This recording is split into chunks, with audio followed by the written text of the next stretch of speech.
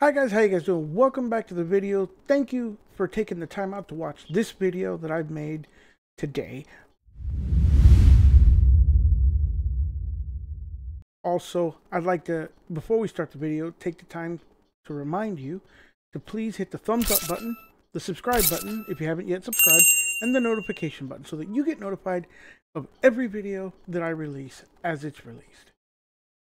I also would like to take a moment to thank Tor Hegum. I'm horrible with names, so I hope I didn't butcher his name. He's our newest channel member, so thank you, Tor. I really, really appreciate you very, very much. Also, if you want to be like Tor and you want to go ahead and hit that join button, please do. I'd greatly appreciate it. As everything that you guys give helps this channel and supports this channel. This is the third and final video of the week of Xero Linux on the Linux Tube. We're going to finish with Xero Linux itself, the KDE coup de grace, which is the baby of TechXero Dark Zero. And to do that, first what we're going to do is we're going to go to the web page and take a look at the release notes. Uh, there's something there that he wants me to mention, uh, so we're going to go ahead and mention that. And then we'll take a look at the actual distribution itself.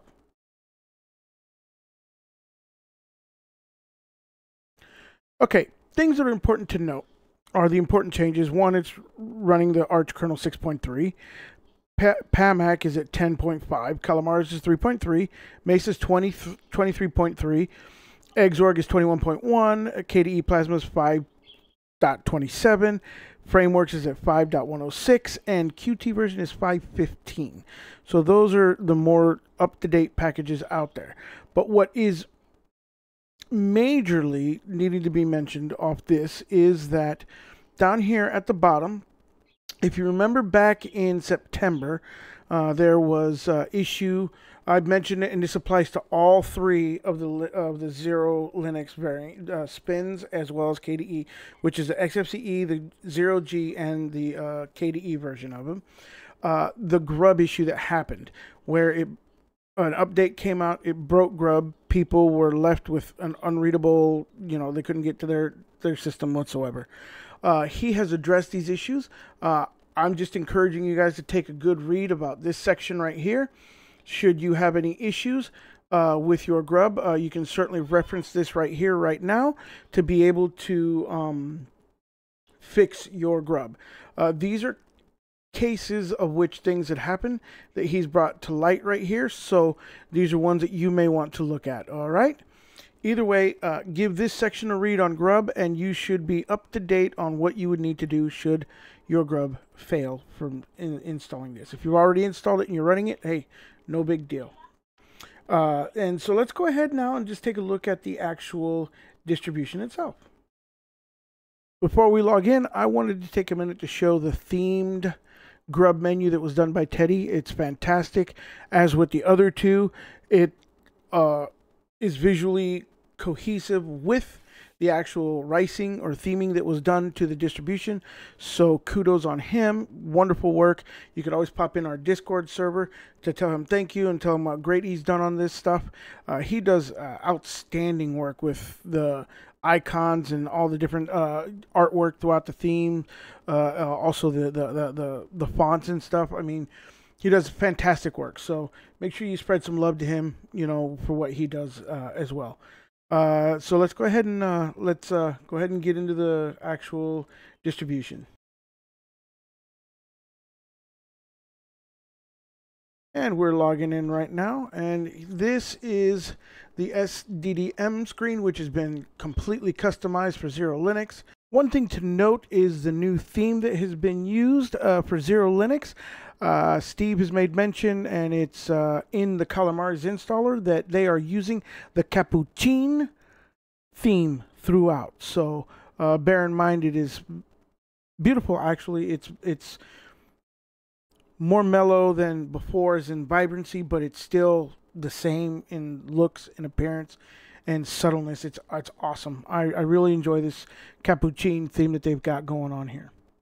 I like it. it looks nice. I'm to put in my password here and we're to log in. Uh, when it first booted in, the username was blank. Uh, just make a mention of that. So I actually had to put in my username that I created and then my password and logged in, but it has since remembered it. So going to click login and that that login was actually the SDDM screen was awesome. Now, one of the things that uh, TechXero, Dark Zero, aka Steve, wanted me to mention is with all of his distributions, the first thing that you automatically have to do is you have to update your system. So we're going to go ahead and click update system now, and it's going to open up Topgrade, uh, which we're going to go ahead and minimize. Let's see, so we can minimize that. Yep, and we're going to uh, it's going to do Topgrade, and we're going to do run Topgrade. Uh, Topgrade, if you don't know, is a tool that actually updates everything all at once. Uh, whether you have snaps on, whether you have Flatpaks on, the Pacman, everything, everything, it, it, updates it all at once. It's pretty awesome, including firmware. So either way, I'm going to hit enter, and then we're going to let it do its thing where it updates, and when it's done, I will uh, resume the video. So I'm going to go ahead and hit enter. It's going to start. I'm going to pause, and then I'll catch you on the flip side. All right, that wasn't too bad. As with the other ones, it only took about two to five minutes altogether for it to update, so everything's good. What I wanted to note is that um, when you click on this and you look at this, because I know some people have eagle eyes out there, and before uh, they uh, say anything, um, I want you to know that it's already a known issue, and is, there isn't much that can be done about it. And so when I click on the update system now, if you notice, the buttons and the bar are different and it's different theming. Uh, that's because one is Qt and the other one is GTK. And uh, they are themed to the best that they can be for, for Xero Linux. Uh, Steve is aware of it, and Steve is uh, uh, addressed it uh, several times, and so I'm helping him address it as well. So just know that this is what you will see and to expect it, and it's not an alarming thing, but it does exist. So going to close that out and I'm going to mention the tool now as I did with the other ones as well. Uh, familiarize yourself with this tool. This tool, as with any Linux distribution that has these welcome windows or welcome tools, are uh, exceptionally awesome because it's kind of a one-stop shop where you can actually look and do things post uh, install uh, right away very easily. Like update your arch, update your system, which we've already done, post system install config. There's these things in here that you can look at that you can actually deal with uh, if you so choose to. Uh, but this is the one right here, the install applications that most likely will be more pertinent to most people. And that is that from here you could add any additional software that you may want, uh, such as kernels as you can see, it's categorized backup tools. Okay, uh, in internet browsers. Okay, uh, as uh, like uh, internet socials. Uh, you got Simplex, Cable, Whalebird, uh, Office tools. They got all kinds of stuff. So it's just as simple as like we go to Office tools, LibreOffice Fresh.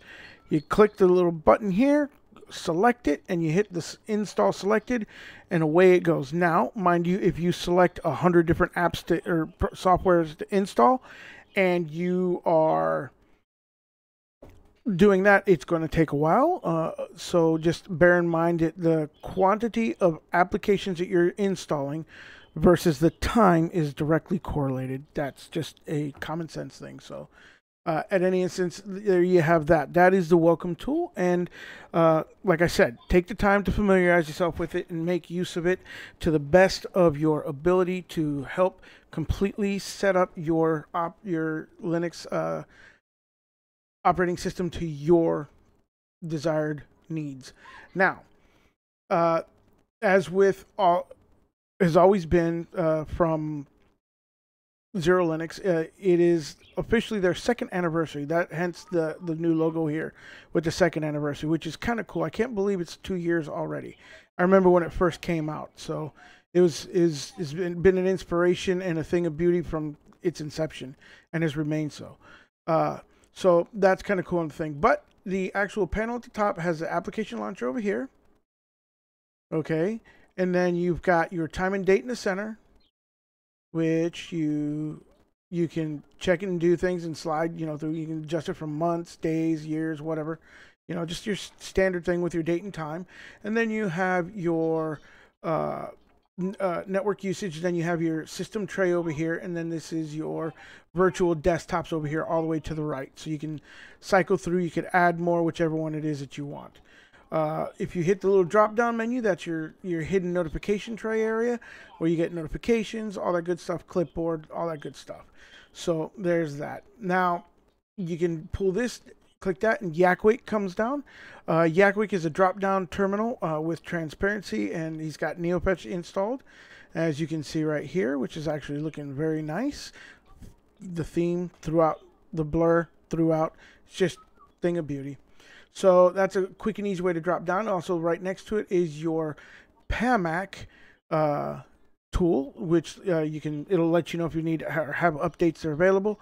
Uh, it'll turn a different color, more than likely red, and you'll know that you have updates. But this is actually your your GUI front end for the Pacman uh, package manager, and uh, here you can certainly find uh, software if you should you need some also you can see what's installed should you need to and of course you can click on the updates and it'll tell you any updates that you may have so there is that now if we go to the drop down menu it's your standard one uh, for KDE just themed uh, which is got your power session right here as well and then also you got your recent apps and then you got the under development you have translation cmake the qt uh, suite of, of uh, you know tools development tools. Kate uh, was in there. Meld is in there. Uh, user feedback, that good stuff.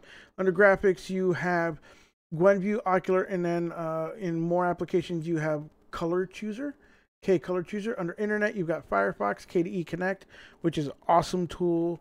Uh, you also have the Avahi SSH uh, server br browser, and uh, it's other the VNC server browser. Uh, under Lo- uh, Lost and Found, you have the HP UI scan. Uh, under multimedia, you have the actual uh, webcam utilities uh, for the that are the Qt uh, V4L2s. for Office, you have Calendar, Localized, and Okular. Notice the absence of an actual Office suite. I love the fact that it doesn't come with an actual Office suite installed, keeping it light, keeping it user friendly, because not everybody likes the same Office suites. And I personally think that the base applications should be used in distributions and allow the user with the tool that he's created for the post installation to be able to install your desired and your tools that you like. Uh, I, I, it's just awesome. Uh, for settings, of course, you've got the auto remove software, which we've taken a look at. It should launch PAMAC, which it does, as you can see. Um, you have the advanced network configure ah, the advanced network configuration. He's got ARANDR installed. Uh, you got the fingerprint GUI reader, uh, system settings, and YAD settings in here. Uh, under system, you have uh, once again the auto remove software. That is the one thing that is not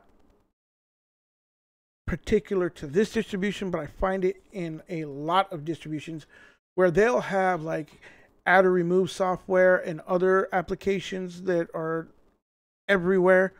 They'll have it in multiple different locations to get to, which I don't know why that happens, but it does happen, and that is just something that is a little, you know, it's not, it's redundant more than anything, but it's not like it's like multiple same alternative apps or softwares that are installed to do one sim job. So, uh, but anyhow, there's that. Then you have like the see here's the Avahi Zeroconf browser. I mean, uh, Crash Process Viewer, uh, Dolphin is in here, which is a standard KDE thing.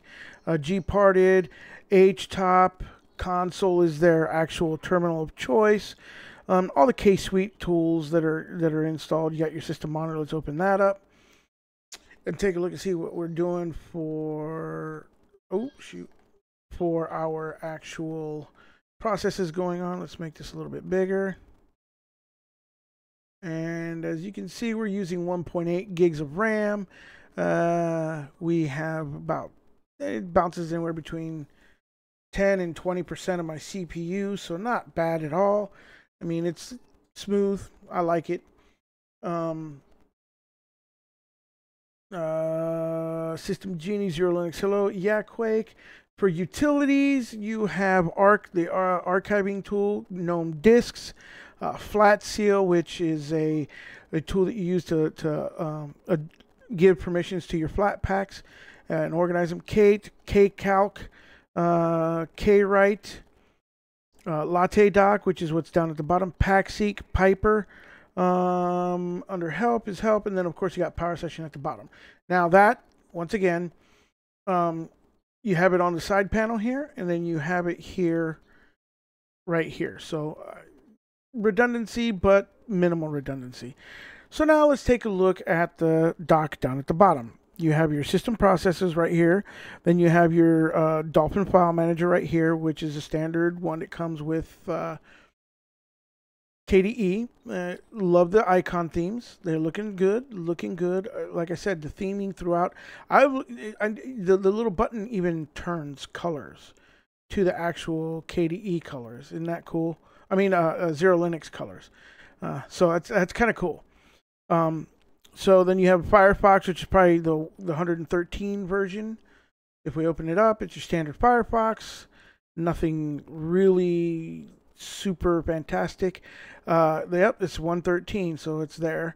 Uh, I love the theming of Firefox, how it's themed throughout. It's got the same same purple that goes with the actual uh, uh theming. Uh, so that that's awesome. It's got meld uh, console. We'll open that up because we looked at Yakuake, but this is the actual console. Once again, theming follows through suit. Everything looks good. Uh, the NeoFetch is right here. Um, it's your standard your standard you know terminal emulator. And then under system settings that's your standard system settings which allows you to uh, adjust anything and everything. That's the one thing about KDE is you can customize pretty much everything. And of course the theming's there as well all the way through globally. Uh, Gparted is down here and also Flatseal. And then the the the xero linux hello. Uh, you can launch it from here as well so that is a brief rundown on Xero Linux, the second anniversary edition, second year anniversary. So I, it's again everything that Team Xero Linux puts together is on par. You can guaranteed, you can be guaranteed that you are going to have continuity throughout. Well done to the Xero Linux team. Uh, this week has been awesome reviewing distributions and making these videos. I really enjoyed it. Uh, a lot of quality time has been spent into it. Like I said before, if you want to thank them, you could obviously thank them in a comment here. Or you can pop into the Discord server and thank them there on mine, or actually go to Xero Linux's Discord server as well. Uh, I will put a link to the description for the forums where you can find the infos uh, and the re release notes and uh, re uh, on these here. So stay tuned to that. And once again, I ask you guys to do the same thing as always. You guys do what you do. Keep on Linuxing. Stay blessed. Have a great day. And I'll see you in the next video. You guys have a wonderful day.